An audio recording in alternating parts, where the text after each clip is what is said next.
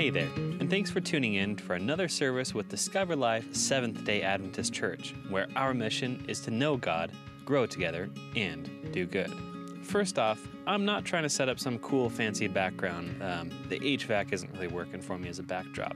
But given that our only announcement today is a continued reminder that we're meeting outdoor for church, appropriately socially distanced with masks and our own lawn chairs, with Sabbath school at 10:30 and the church service at 9:30.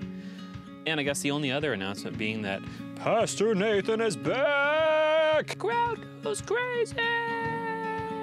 Anyways, well, I'm hanging out in my HVAC section because among my attempts to be a good steward, I had something go wrong in my rental unit. That something was that my HVAC system gave out. And now it gave out for a very specific reason. and that reason is that I hooked up my generator to it, and the generator apparently spiked something, and it wasn't happy, and the HVAC system shut off. So when the power came back on the normal stuff, and I plugged it back into the house, nothing. And it was just cold. It was 40 degrees outside. So we had our two little space heaters going non-stop. But I felt like this tied in a little bit with today's giving story. You see, I had a couple of options with that. The first one was I could simply blame it on the power outage, call my landlord and say, look, the HVAC system isn't working anymore um, ever since the power came back on. Factually correct, but not completely honest. And so I decided to take a different route with this. So I'm no HVAC expert, but I'm a handyman, and so I decided, well, first of all, I should try and assess what's going on. So I got out my multimeter, got all my little tools, noticed that the LED was off for the system, plugged things in, unplugged them, checked the fuses, all these things. Well, this is what I saw when I decided to go a layer deeper. I saw an HVAC system with a little place where an orange LED is normally supposed to go that the little orange LED wasn't glowing anymore. So I said, well, what do you do when the light's off? You look inside to see what's turned the light on. Wouldn't you know it, I looked inside and there were wires and things and doodads that I had no know-how uh, what to do with them, but I figured, well, first thing you're gonna check for in a system like this is, are there any fuses? And sure enough, that little purple thing right there at the top in the middle is a fuse. Um, and right next to it, the little yellow thing is the LED that should be blinking and glowing. Well, we're not trying to make this all about electronics and about repairs, but the long and short of it was I realized I do not have enough know-how to repair this on my own. At least that was my initial thought. So I called up my landlord and I went with the what I felt like was the most honest option. And I said, landlord, I seem to have screwed this up. Um, here's exactly what I did. I unplugged the HVAC system from the house, there was no fuse between it and the generator, um, but it fried. So I said, I'm sure you have an HVAC guy, but look, I know this is my fault. 100% planning to pay for it. I just wanted to be upfront with you, let you know it happened, and make sure that I was calling the appropriate people since it is your house and I want to be respectful. Now, up to this point, I had prayed and I said, God, I'd really like the system to just start working. Um, I don't want to tell the landlord I potentially screwed something up, and hopefully I didn't, but your will be done. And for whatever reason God hasn't revealed yet, his will apparently was that I tell my landlord, because here's the funny thing that happened. I told him, and within two hours, I had figured something out. I realized in doing this that off over to the side, there's actually a set of instructions that are attached, and I followed those instructions and was able to determine that there's a very specific component that had gone bad. What this component does is it just changes the voltage so that when you plug in your fancy thermostat, it's not frying and it's not like a scary voltage up there. And I believe scary voltage is in fact the correct technical term. Well, good news was I had another power supply with the same voltage, plugged it in, and everything started working. So I didn't need to bring in the HVAC guy, and I had a cool opportunity to be honest with my landlord and for God to put my face to the test as to what the right decision was to make. So $30 lesson learned, make sure there's a fuse between your generator and your HVAC system if you're gonna try and go that route. But the giving lesson that came out of this for me is we do have a responsibility. A responsibility to whatever it is that God has given us to manage. Whether another person on this earth technically owns it or whether we technically own it according to the world's eyes, We're supposed to treat it all as though the assets belong to the Lord and we're serving Him with these assets.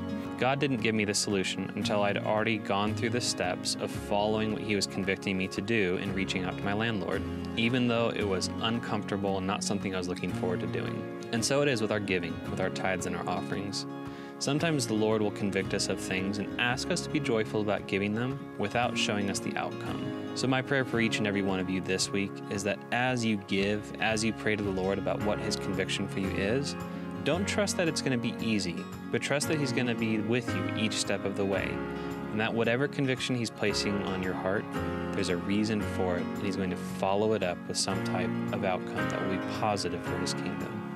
So, as I wrap up, remember that you can always give online by going to discoverlifesonora.org. Click on the Give button, and this will redirect you to AdventistGiving.org, where your donations will be credited to the Discover Life Seventh Adventist Church. Remember, there you can give your tithe, your offering, give something to our Imagine campaign, or to any other cause that you may desire. And on that note, let me wrap it up by saying that on behalf of Discover Life Sonora, our staff and media team, we're grateful that each and every one of you have chosen to join us today and hope that you're blessed by today's worship experience.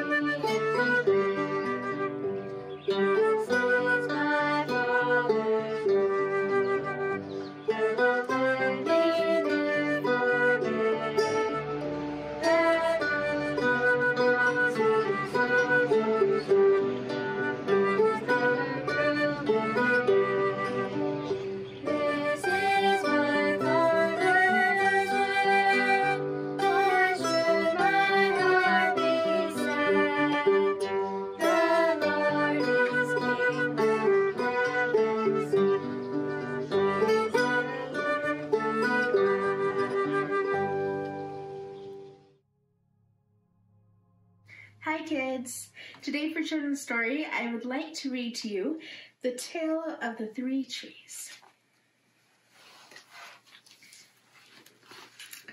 Once upon a mountaintop, three little trees stood and dreamed of what they wanted to become when they grew up.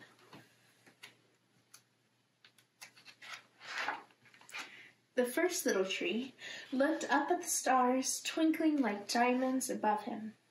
I want to hold treasure, he said. I want to be covered with gold and filled with precious stones. I will be the most beautiful treasure chest in the world.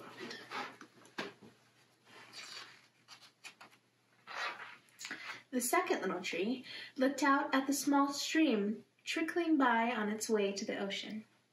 I want to be a strong sailing ship, he said. I want to travel mighty waters and carry powerful kings. I will be the strongest ship in the world. The third little tree looked down into the valley below, where busy men and busy women worked in a busy town. I don't want to leave this mountain top at all, she said. I want to grow so tall that when people stop to look at me, they will raise their eyes to heaven and think of God. I will be the tallest tree in the world. Years passed. The rains came, the sun shone, and the little trees grew tall. One day, three woodcutters climbed the mountain. The first woodcutter looked at the first tree and said, This tree is beautiful. It's perfect for me. With a swoop of a shining axe, the first tree fell. Now I shall be made into a beautiful chest, thought the first tree. I shall hold wonderful treasure. The second woodcutter looked at the second tree and said, This tree is strong. It is perfect for me. With a swoop of the shining axe, the second tree fell. Now I shall sail mighty waters, thought the second tree. I shall be a strong ship for kings. The third tree felt her heart sink when the last woodcutter looked her way. She stood, she stood straight and tall and pointed bravely to heaven. But the woodcutter never even looked up. Any kind of tree will do for me, he muttered. With a swoop of his shining axe, the third tree fell. The first tree rejoiced when the woodcutter brought him to a carpenter's shop, but the busy carpenter was not thinking about treasure chests. Instead, his work worn hands fashioned the tree into a feed box for animals. The once beautiful tree was not covered with gold or filled with treasure. He was coated with sawdust and filled with hay for hungry farm animals. The second tree smiled when the woodcutter took him to a shipyard, but no mighty sailing ships were being made that day. Instead, the once strong tree was hammered and sawed into a simple fishing boat. Too small and too weak to sail an ocean or even a river, he was taken to a little lake. Every day he brought in loads of dead, smelly fish. The third tree was confused when the woodcutter cut her into strong beams and left her in a lumber yard. What happened, the once tall tree wondered. All I ever wanted to do was stay on the mountain top and point to God.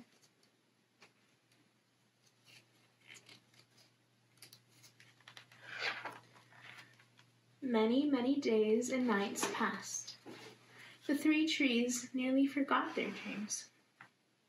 But one night, Golden starlight poured over the first tree as a young woman placed her newborn baby in the feed box. I wish I could make a cradle for him, her husband whispered. The mother squeezed his hand and smiled at the starlight as the starlight shone on the smooth and sturdy wood. This manger is beautiful, she said. And suddenly, the first tree knew he was holding the greatest treasure in the world. One evening, a child traveler and his friends crowded into the old fishing boat.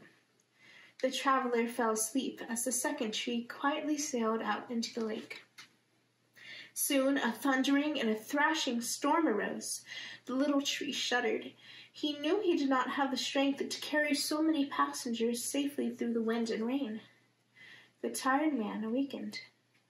He stood up, stretched out his hand, and said, Peace. The storm stopped as quickly as it had begun. And suddenly, the second tree knew he was carrying the King of heaven and earth. One Friday morning, the third tree was startled when her beams were yanked from the forgotten from the forgotten woodpile. She flinched as she was carried through an angry, jeering crowd. She shuddered when soldiers nailed a man's hands to her. She felt ugly and harsh and cruel. But on Sunday morning, when the sun rose and the earth trembled with joy beneath her, the third tree knew that God's love had changed everything. It made the first tree beautiful. It had made the second tree strong. And every time people thought of the third tree, they would think of God. And that was better than being the tallest tree in the world. The end.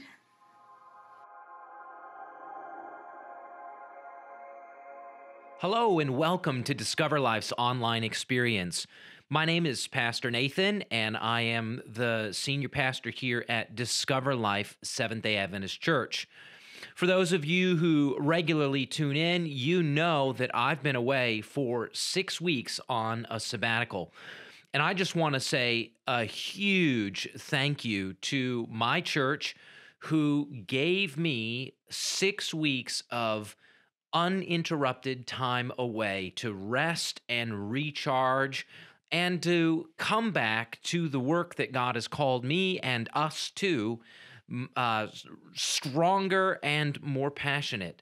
So I want to thank you for the time away, and I want to let you know that I'm really happy to be back with the church family here in Sonora.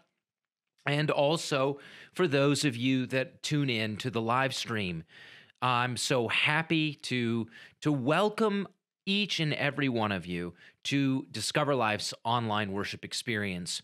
Before we jump into the message, I would like to pray for uh, our service. Dear God, we thank you for your goodness and love. We thank you for your generosity and kindness. Father, today as we study the word, we ask that you would teach and instruct us. Father, we come to you with our cares, our sorrows, our heartbreaks, our concerns, and we lay them at your feet, knowing that you are good and generous, that you are forgiving and gracious. Father, lift those burdens from us and fill us with the joy that comes by your Spirit. Father, as we read your word, may you teach us and uh, may we grow through hearing you speak. In Jesus' name, amen. In his earthly ministry, Jesus healed the sick, he gave sight to the blind, he raised the dead, and he fed the hungry. He perfectly represented the true beauty and goodness of who God really is. He perfectly embodied the character of God. Everywhere he went, he sought to relieve human suffering and to provide a balm against the heartbreaking problems of the world. Now, this, this generosity that Jesus expect, expressed actually led the disciples to kind of almost imagine that the utopia was coming, that God's kingdom was going to break in, and that, that all things were going to be right. And so as Jesus is heading toward the crucifixion, one of the the greatest crisis of his life, Jesus said these words, John 16 verse 33. I have said these things to you that you uh, that in me you may have peace. In the world you will have tribulation, but take heart, I have overcome the world. Now, I want to notice specifically these words you will have tribulation. Jesus, uh, you know, this is an incredibly important thing for Jesus to say. Again, given the context of him healing the sick, raising the dead, giving sight to the blind, uh, giving hearing to the deaf, Jesus uh, delivering the leopard, feeding the hungry, all these things, again, put yourself in the minds of the disciples. You're like, we have this miracle worker. I mean, he literally can solve any problem. And now Jesus is saying, this is who God really is. He is generous, he is kind, he is good, he is he is in favor of human flourishing. This is who God is. And and you can imagine the disciples would think to themselves, then that means that all problems are now going away on a permanent basis. And Jesus says, "No. In the world you will have tribulations.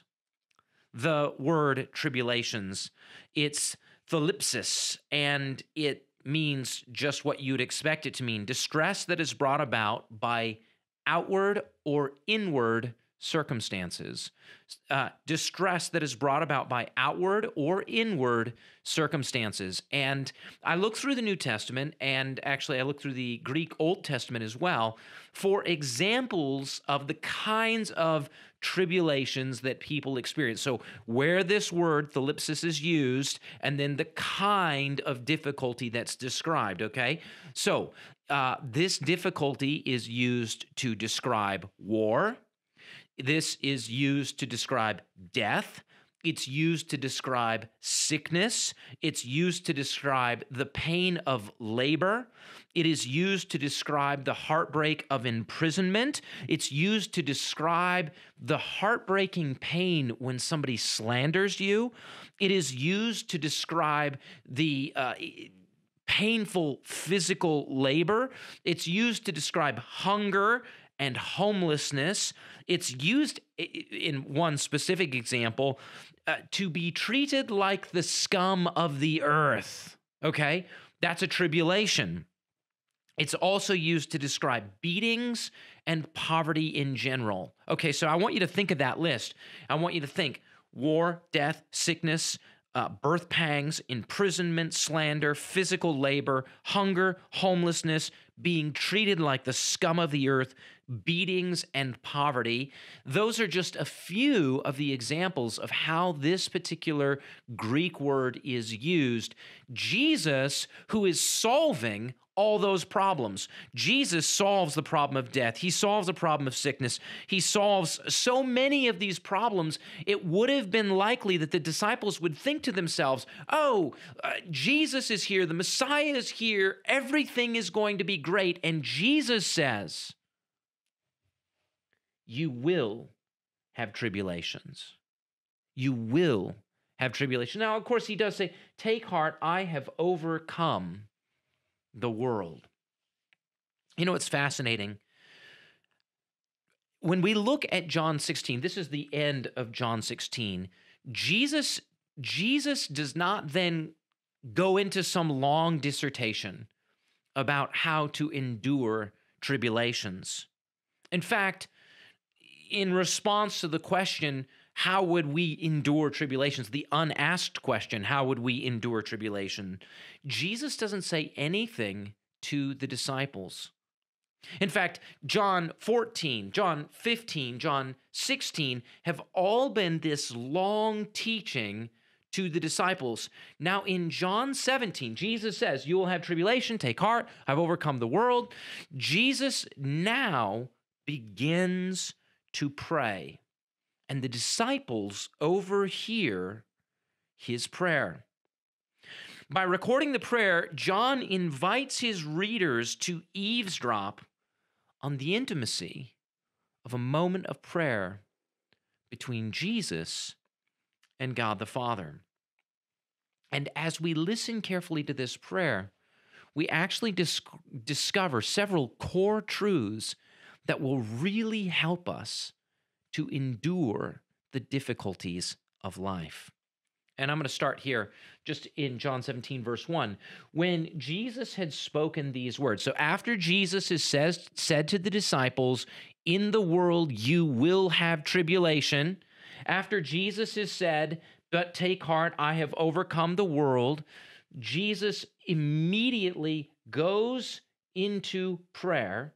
He lifted up his eyes to heaven. Interesting when Jesus prayed, he didn't bow his head and close his eyes.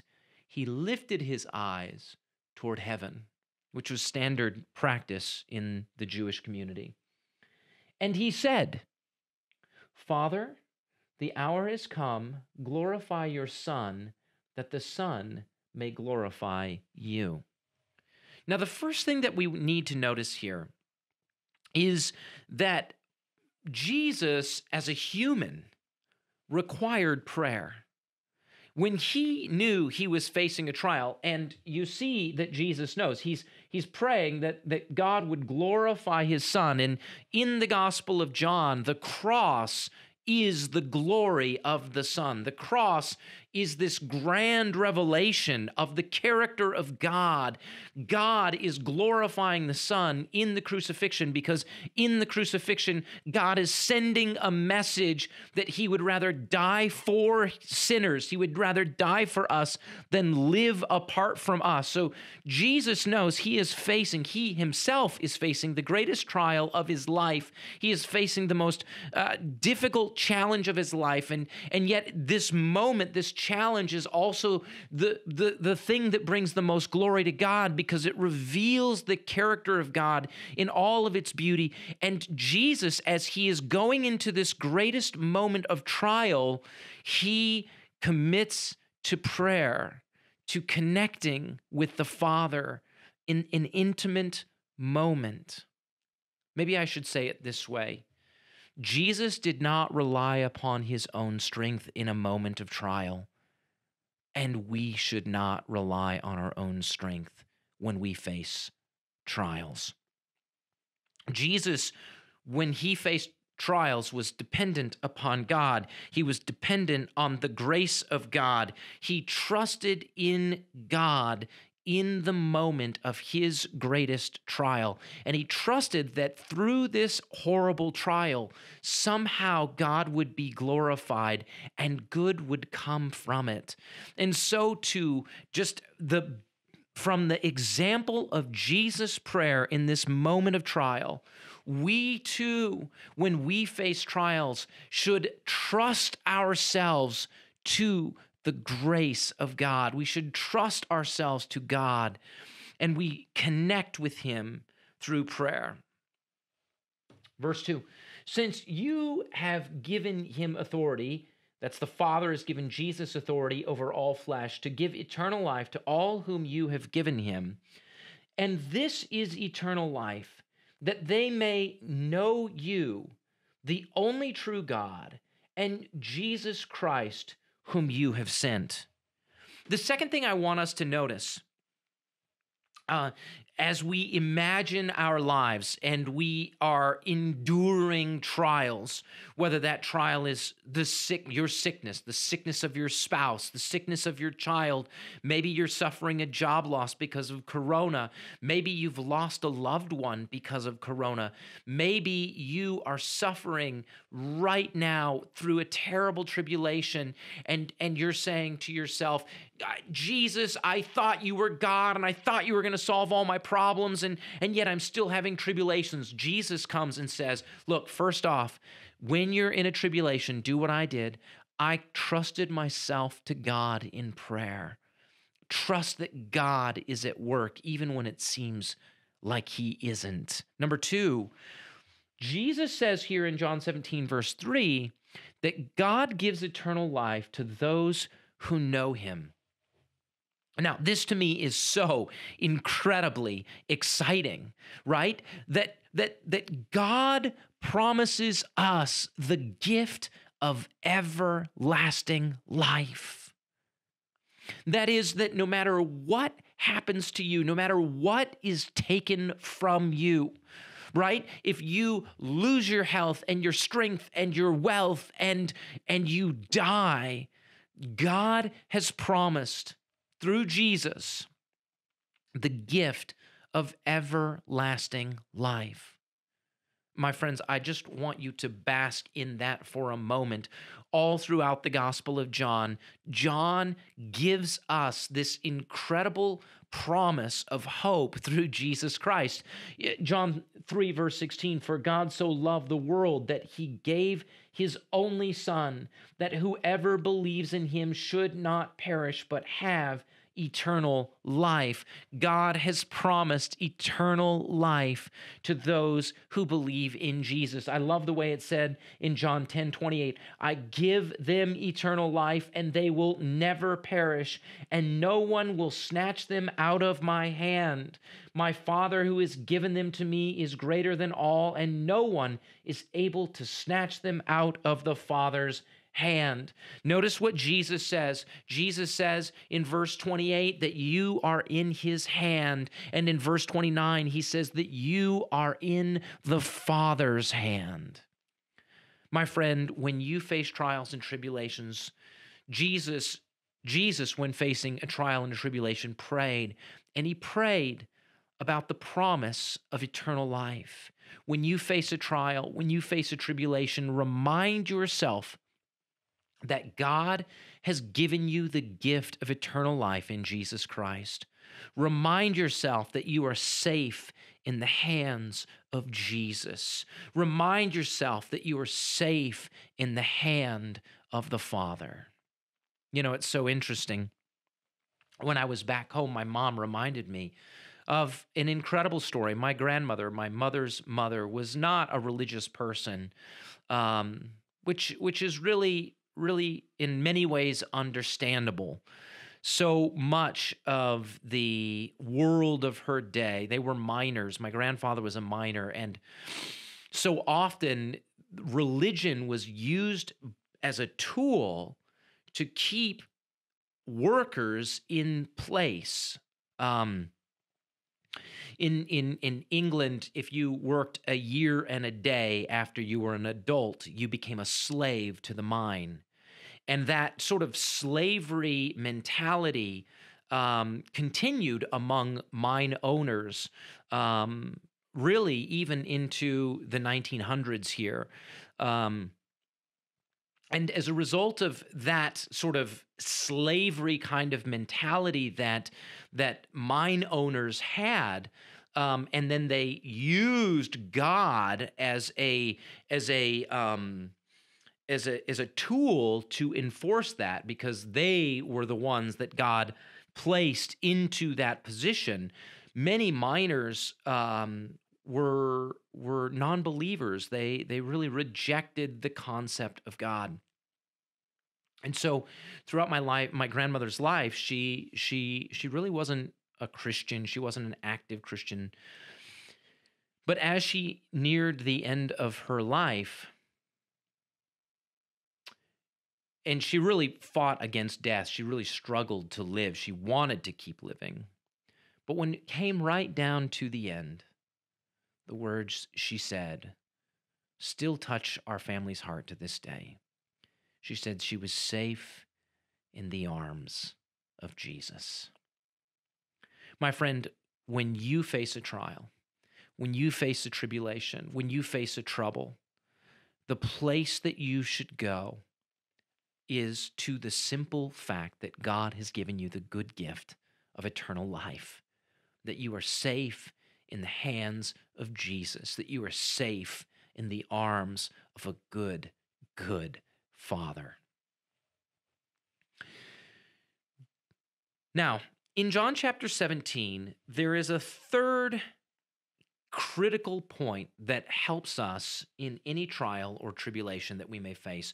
We're going to skip ahead here to John chapter 17, verse 20. Jesus says, I do not ask for these only, but also for those who will be belie- who will believe in me through their word. Okay, so Jesus is praying, and Jesus is saying, I'm not only praying for my 12 disciples, I'm praying for the people that will believe through their word. Uh, so I'm praying for all believers through all time. Now, I want you to notice what Jesus is praying that they may all be one, just as you, Father, are in me and I in you, that they also may be in us, so that the world may believe that you have sent me. Now, what I want you to notice here, and most of the time when preachers read this, they read it as a command to the church to be unified. And certainly there are commands to the church to be unified in the New Testament.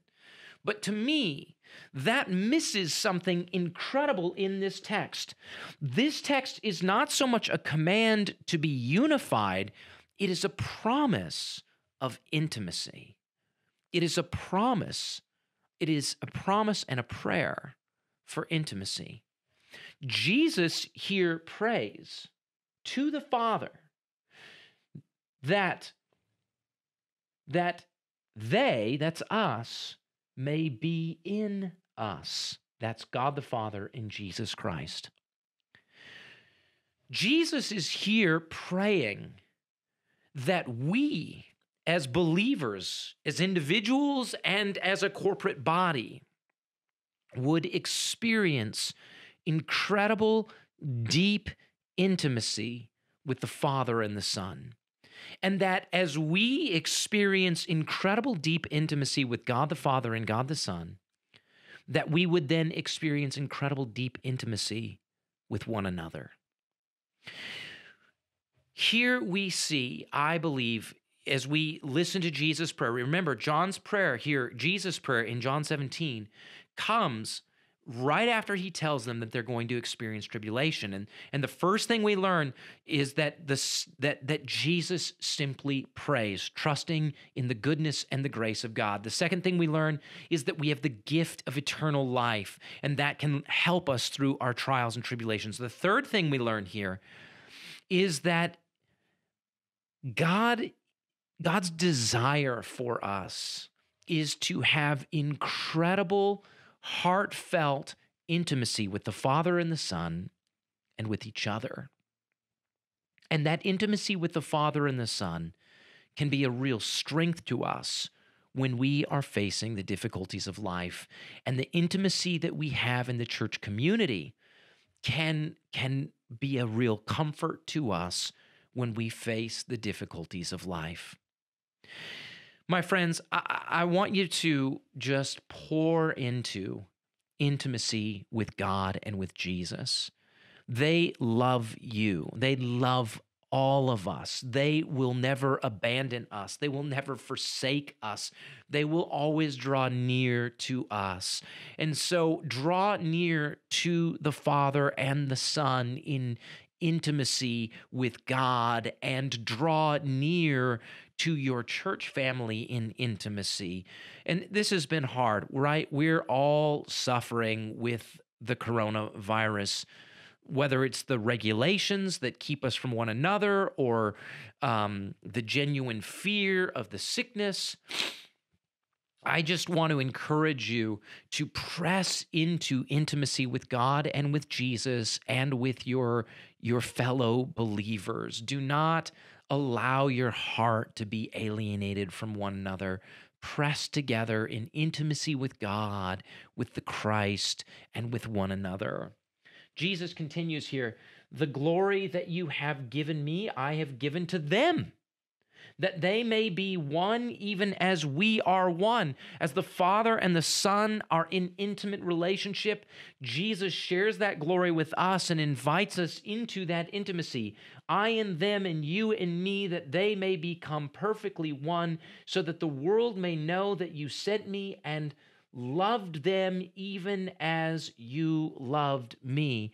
My friends, eh, we've talked about this before, but there's this circle of love that exists between the members of the Trinity. The Father loves the Son and the Spirit, the Son loves the Spirit and the Father, and the Spirit loves the Son and the Father. And, and this circle of intimacy included eh, at creation was expanded to include humanity and and through Christ we are welcomed into that beautiful circle of love. We as individuals are welcomed in and then we become the community of faith. And as the community of faith, we are in the circle of God's love. And, and, and, and I want you to get this as we know and experience that love of God and we live in the intimacy of that love and we live together in intimacy with one another and we bask in the gift of eternal life. We trust that God is with us and caring for us. These things are a real balm.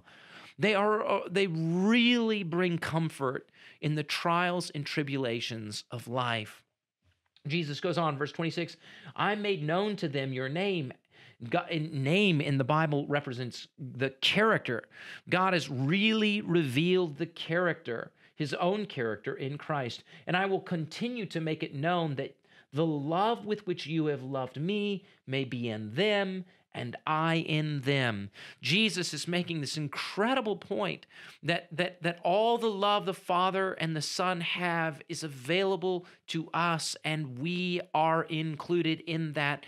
And that's the kind of community that we have the opportunity to become a community that is in, encircled by the great and glorious love of the Father.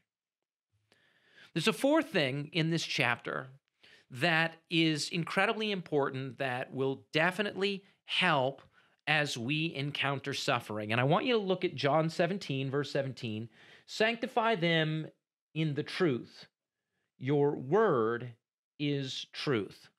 Now, this word sanctify often we hear this word and we think of the theological concept called sanctification. Sanctification is growth in holiness, right? So we read this verse and and and and we typically hear it saying something like grow them in holiness in the truth. Your word is truth. And so we think that Jesus is saying something like God, can you make your people more and more holy as they understand your truth more and more? And that is certainly a true concept, but I don't think that's what Jesus is saying here in John 17, verse 17. The word sanctify, it, it, it in, in some rare occasions can mean growth in holiness, but But that's a theological teaching that is that is that's not really rooted in this word. I, I hate to, to to break it to you. This word is hagio, okay, and it's just the Greek word for holy. When something is sanctified, it is made holy. It is consecrated. Okay, it's consecrated for some purpose. Okay, so Jesus is saying, consecrate them, set them apart in your in the truth your word is truth. And by the way, you might remember John 14, where Jesus says, I am the way, the truth, and the life. And you might remember John chapter 1, verse 1, which says, In the beginning was the Word, and the Word was with God, and the Word was God. In the Gospel of John, Jesus is the truth, and Jesus is the Word. So here, set them apart in the truth, in Jesus Jesus is the truth. All right. Now, what does it mean to be set apart? Well, check this out. As you sent me into the world, so I have sent them into the world.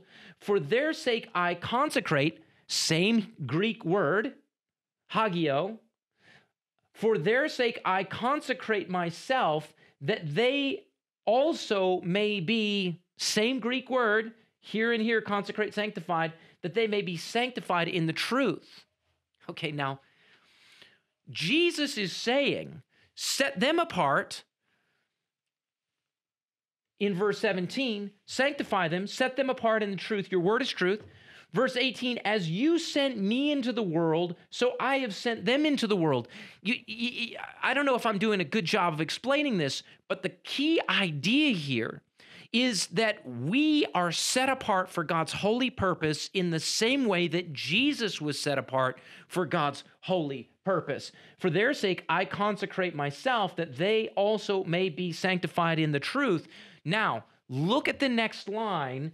I do not ask for these only, but also for those who will believe in me through their word.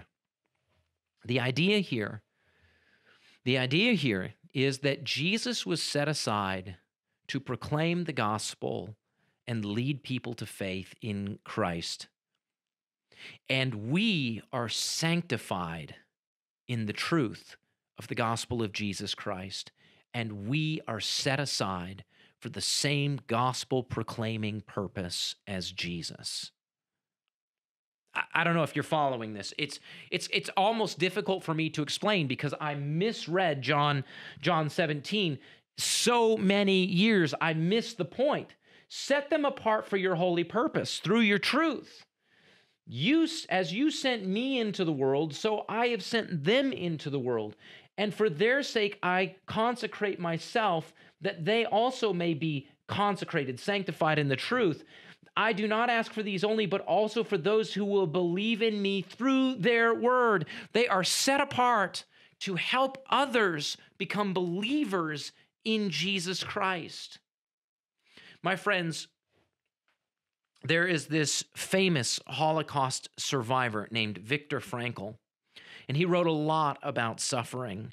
He observed that his fellow inmates in concentration camps were more likely to survive the horrific conditions if they had a sense of meaning. I want you to get this. This man spent time in concentration camps. He saw the worst suffering in the world and as he witnessed that suffering, he discovered a incredible key to life, which is that having a sense of purpose and meaning brings uh, help in trials. There is a tremendous benefit to a sense of purpose and meaning when you face trials. Now, check this out. You are sanctified by Jesus, you are set apart for his holy purpose. Yes, he wants you to grow, grow in holiness, but that's not what John 17 is talking about. John 17, verse 17 says, Set them apart for a holy purpose in the truth. Your word is truth. Okay, you're set apart. What does that mean? Does that mean you grow in holiness? Well, certainly that's true, but that's not what this text is talking about. As you sent me into the world, so I have sent them into the world. you have the same gospel preaching ministry purpose that Jesus had. Jesus says, For their sakes, I consecrate myself. I consecrate myself. What? To that mission of Jesus, that they also may be, same same Greek word, hagio, may be sanctified in the truth, that they may be set aside in the truth. I don't ask for these only, but for those who will believe in me through their word. Church family, Viktor Frankl, he wrote something really cute. He called it Sunday neurosis. All right. So he says, after the work week is over, and now it's Sunday, and the new week has not quite begun for so many people. They get a two day weekend. He, he had this thing he called Sunday neurosis that refers to the dejection that people feel at the end of the working week when they realize just how empty and meaningless their lives have become. And then this, this existential vacuum may open the door to all sorts of excesses and compensations, such as neurotic anxiety, avoidance, binge eating, drinking, overworking, overspending. In the short term, these excesses and compensations carpet over the ex- existential vacuum, but in the longer term, they prevent action from being taken and meaning from being found. Basically, what he says is once you've worked all week and now it's Sunday and you've got nothing to do, then this sense of purposeless and meaningless takes over people and then they plunge into addiction to cover it up. And what I'm here to tell you is that if you are a believer, you have the most important mission in the world. Just like God sent Jesus to tell the good news of a God of love and to give people the hope of everlasting life, you share that same mission. That same mission of proclaiming the goodness and love and generosity of God and leading people to hope, the hope of everlasting life. My friends, Viktor said it this way In some ways, suffering ceases to be suffering at the moment it finds a meaning. Such is the meaning of sacrifice. Suffering ceases to be suffering at the moment it finds a meaning. And my friends, your life has meaning and purpose. Its meaning is first and foremost to enjoy in intimacy with God, to enjoy the gift of everlasting life, to enjoy intimacy with His community. And it is to let others know about the incredible generosity and goodness of God. My friends, the Messiah has come. He healed the sick, He raised the dead, He gave sight to the blind. And it looked like everything was going to be a utopia. But Jesus said, not yet. You're going to still have tribulations. You're going to still have trials. And I'm praying for you. Trust in God's generosity. Trust that He has given you everlasting life. Enjoy intimacy with Him and the community. And serve God's purpose of proclaiming the good news, just like Jesus did. That is the antidote to tribulations and trials. That will bring healing and peace when you suffer loss and sickness and death and disease and all the things that seem to be so common, that are so common in our world. Let me pray with you. Dear God, we thank you for your goodness and love. We thank you for your generosity. Father, as we reflect on the trials and the tribulations that we face. Remind us of your great love for us. Remind us of the grace that you give. Remind us that we have the hope of everlasting life. Remind us of our community and remind us of the calling that you have placed on our lives. We pray these things in Jesus' name.